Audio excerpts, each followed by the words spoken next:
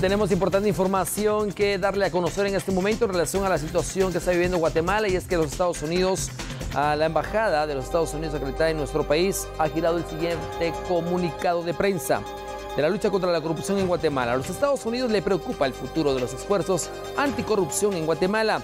El Estado de Derecho, la reducción de la corrupción y el fin de la impunidad son claves para la seguridad, la estabilidad y la prosperidad, no solo en Guatemala, sino en toda la región. El gobierno de los Estados Unidos mantiene su compromiso de apoyar a las instituciones guatemaltecas y al pueblo guatemalteco en su lucha. Continúa contra la corrupción y la impunidad. Instamos a todos a preservar la paz y evitar la violencia.